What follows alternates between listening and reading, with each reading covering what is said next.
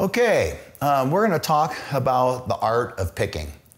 And um, so, what I'm going to do is I'm going to talk about a, a lot of uh, um, picking things I've been through over the last few years, as well as uh, the, mass, the, the uh, final goal. Um, the final goal, and I'll just tell you right now, is uh, to be able to hold your hand as you're picking in such a way that um, you're um,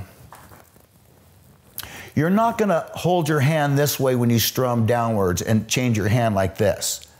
So what you, what you're going to learn how to do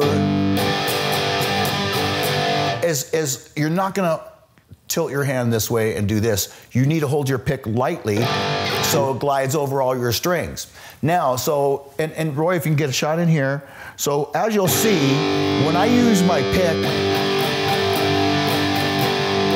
just gliding over the strings. I'm just gliding over them. And I'm not digging in in any way, shape, or form. I'm not digging in. If these are my strings right here, then I'm not digging into the string, past the string. I'm just barely brushing them, barely brushing over them. Uh, another thing I, that I do, and I learned this from some uh, top people in the last few years, I've taken some lessons from some uh, uh, rock stars. And so then they told me I can't say their name. but so anyway, what they taught me was, and this was the greatest thing, was to relax my shoulder and to uh, uh, slant my pick in such a way where, so that if you look here, Roy, see how my pick is flat to the strings? You don't want to do that. You want to slant it like this. So you want to relax this shoulder, slant this pick, and barely scrape on top of things. And now, on top of that, um, Swiss Picks has helped my picking. Um, they have a lot of different um, colors uh, uh, uh, and, and, different styles of picks to use. They have the, your, your jazz picks. Um, they have glow in the dark picks. They have uh, a lot of different colors. They have one pick that's a, um, a, green pick that is called, I think, nuclear green. That's just the coolest color. Um, I think I have one here. I'm trying to find it now.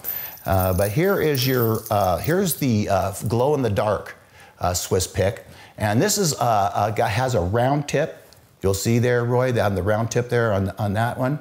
Um, this is like a good uh, all average um, kind of all around use, like a medium. It feels like a medium, just a little bit stiffer, but pretty much a, a medium. It's a really great pick.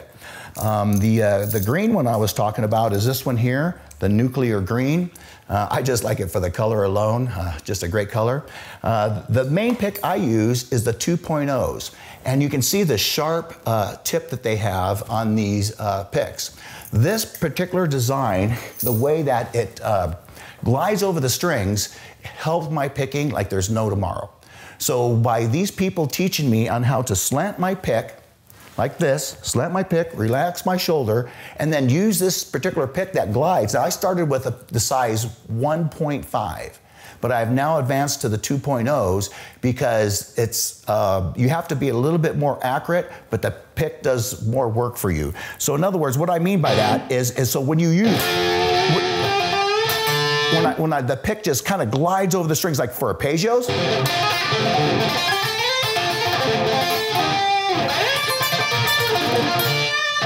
They just it just glides right over the strings. It's amazing. And then as far as speed, it has helped my speed just amazing. I can't believe it. So the pick really helped me. But the thing about it is, is after I learned how to use these picks, I can now use other picks uh, uh, better than I used to. So Swiss Picks has really helped me. And but the and then the coaching that I've had through some uh, friends and and how to pick correctly. So once again, uh, oh, and and one last thing I want to comment on that I get asked on is how you hold a pick. And the way I hold a pick is you can see my thumb is uh, uh, kind of like at a 90 degree 90 degree angle to the tip, so to speak. But the back, the finger kind of is going in more straight towards the tip. So like my finger is kind of like pointing where the tip goes, so to speak. But the thumb you can see is on an angle like that. So there's the back, how my finger is on the back, and there's how my thumb is on the front. So picking is very important. Uh, these are pretty much all my secrets that uh, have really helped me. And so, um, also picking exercise. Uh, check out uh, my video, World's Greatest Picking Exercise, which basically is this learning how to just barely scrape your string. So watch that video and it'll help you as well. But these are all the things that um, I have done to help me master picking.